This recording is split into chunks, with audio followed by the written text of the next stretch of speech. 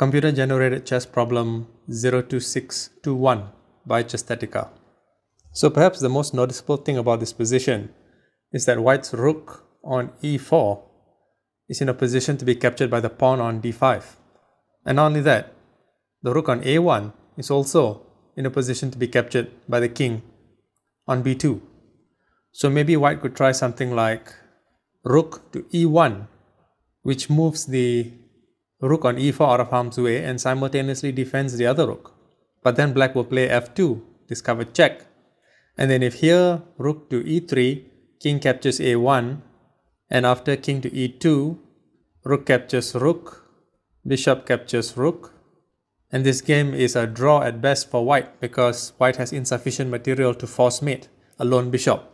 And if here instead bishop to e3, well then pawn captures rook, rook captures queen, king to b3, and black has the advantage even though this game will likely end in a draw. Maybe bishop to e5 instead, giving check to the black king and x-ray defending the rook on a1. Since it's a check, this gains white a tempo, which means that he will have time to move the rook on e4 away. Here if king to b3, rook to b1 check, king to a3, rook to d4, f2 discovered check, king to c2, f1 queen, bishop d6 check, king to a2, rook a4 check, rook to a3, and rook captures rook with mate. White can just leave the black queen on the board so she can watch her king get checkmated. But is there a better way? This is a question you should ask yourself in virtually every position.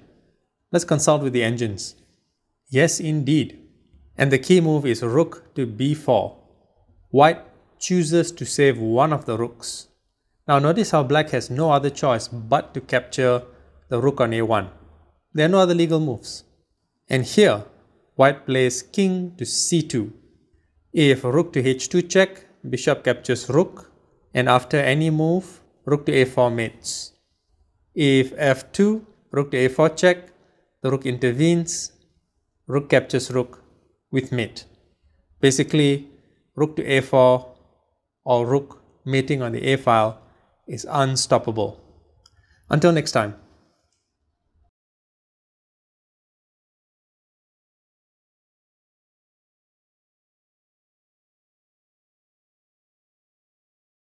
Chesthetica's Book of Chess Constructs, Volumes 1 through 5. Available on Amazon.